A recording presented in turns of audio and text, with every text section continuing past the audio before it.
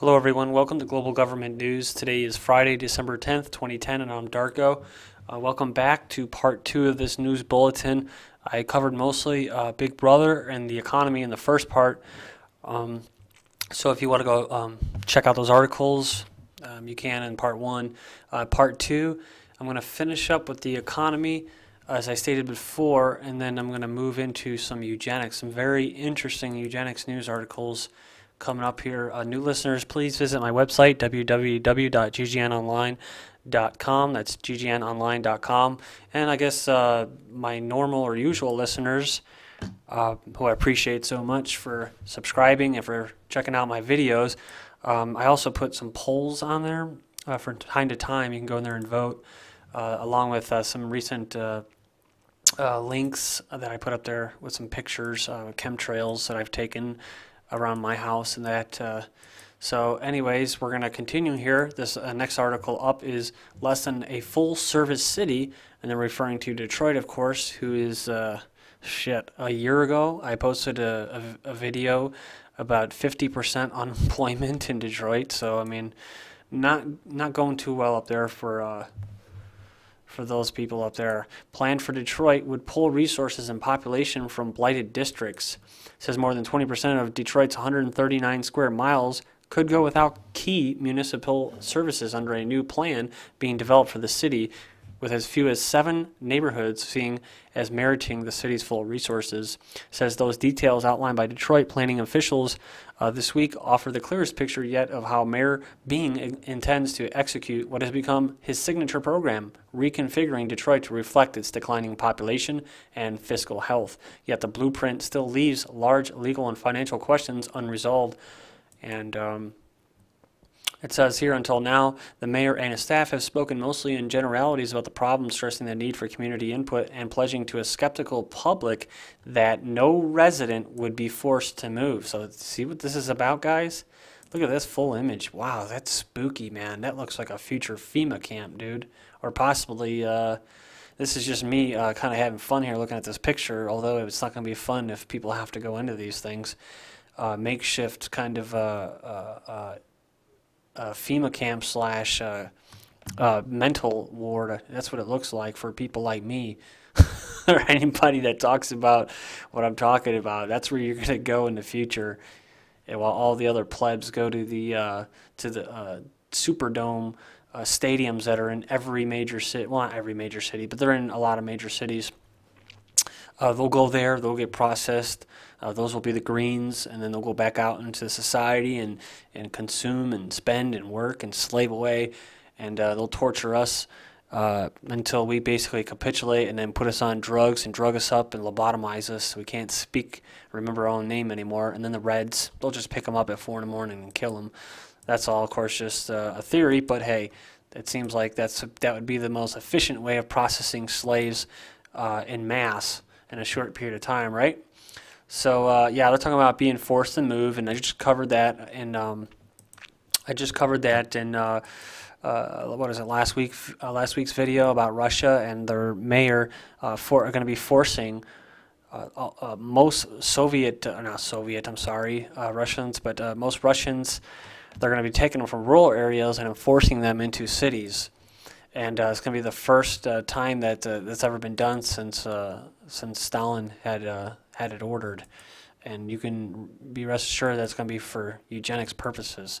Spain Prime Minister Madrid Barcelona airports to be privatized. I covered this a couple videos ago. I just wanted to plug it in here because it goes in with the economy. Uh, Spanish also own a toll road right here in my neck of the woods in northern Indiana, the toll road um, with a whole I-Pass thing. And so it's our toll road here is owned by a foreign company from Spain. Says the Spanish government plans to privatize the country's top two airports as part of a series of measures seeking to jumpstart anemic economic growth. Wow. So I wonder if that's what they're going to tell people here in the United States uh, when they privatize all their water, uh, their water municipalities and uh, other types of um, departments and that when they privatize them all on, and they're going to basically pro, they're going to sell it to them on the cheap. They're going to take all your tax dollars and fix them up as they're going broke, and then they're going to sell them to the private companies like that, and then they're going to jack up your rates. All right, so next up is uh, IRS considers new amnesty for overseas tax cheats. This is no to no surprise at all. Um, Internal Revenue Services seriously considering a new program of reduced penalties for overseas tax cheats who turn themselves in. And this is, of course, all of these little tax havens were made for the elites. They were made for the people that are scamming you, defrauding you, and robbing you as a citizen and a consumer. Um, and so these little these little um, havens are made for them, but they don't like the slaves that are middle management that are maybe have a million dollars um, net worth uh, to be um, trying to avoid uh, this uh, non-free market um, uh, government uh, steered, you know, basically economy uh, where everybody is taxed for every single business transaction that you conduct, right? So they want to try to have a little extra change in their pocket um, after the tax man comes and rapes them. And uh, so they're coming after the little guys. See, they're not coming after the big boys. But uh, said after 15,000 tax sheets came clean last year as part of an IRS offer of reduced penalties, this is and no jail time for people who turn themselves in. IRS Commissioner Doug Shulman told an International Tax Conference Thursday that the program was so successful the agency is considering another one. That's because everyone's scared shitless of the IRS. I mean, dude, there's people that will kill themselves because of the IRS, man. These people are ruthless. they're ruthless, dude. They have a they have a manual that's like uh, ten times the size of the Bible. And what does that tell you? They're more more important than God. I mean, I, I, honestly, that's why they say death and taxes. But hey, if you want statism and you want to say, well, we gotta we gotta just support it. It's the only thing that we can do, even though we've never really tried no government before, except for maybe the indigenous people who were slaughtered by governments and maybe as cavemen were who lived in nice little small tribes and because they didn't live in big huge cities they didn't have to suffer plagues but hey um, i guess let's just keep doing it man let the violence and the coercion and the force uh, uh, continue right? Let the bashing of the heads and the and pay your taxes death and taxes continue. And if you live long enough past 60 past all the eugenics that's carried out on you maybe by then you know you'll you'll start to see what i'm seeing which is um, a stateless society is the way to go, and uh, you know you can do it peacefully. I think, um, if, like I mentioned in my last video, if you're gonna if you're gonna uh, agree, if you're gonna be uh, uh on the fence, or if you're a big statist, or you're even for small government, um, basically all of this will continue unless people start to, you know, really start thinking outside the box. That's the only way I can put it. I don't know how long I'm going to make these videos for. I'm 30 years old, um, and I just got this fire in me to try to get spread this word. Um, I put all these articles out there because I want you to see what I'm seeing. I, you know, I have a certain perception, and hopefully some people can, uh, you know, uh, share that perception with me. And in doing that, you can see that I'm offering solutions, and my solution is is nonviolence, and it involves no government. Um, you can be spiritual person. I'm not promoting atheism or anything like that. I'm just whatever, man. It's just there's got to be something else. So I'm gonna move on, and um, says here OIA considers dumping TSA scanners. Says leaders of Orlando International Airport could start taking steps to replace TSA scan scanners with a private company during a meeting Wednesday. And it says uh, WFTV has been following the uproar over TSA's controversial full body scans and intrusive pat downs. Orlando International Airport is already making the switch to a private screening company. Said it would bring a huge change at OIA but uh, passengers might not even notice. Next one up is from Press TV, and it says Iran China discuss major rail project. That's pretty big news. Iran says it's negotiating with China on an express rail line uh, project that is to run from the Iranian capital to the northeastern holy city of Mashhad, a major attraction of Shia pilgrims. And this sucker is supposed to go 150 miles per hour, I believe. And uh, next one up here is GCC urged to boost gold reserves. Uh, GCC states uh, should boost their foreign reserve holdings. Sorry, I had a trouble just pronouncing that of gold to help shield their billions of dollars of assets from turbulence in global currency markets, say economists at the Dubai International Financial Center Authority. So that's also big news. Uh, next one up, milit uh, military. Middle classes should donate more to charity, says Hunt, the millionaire minister.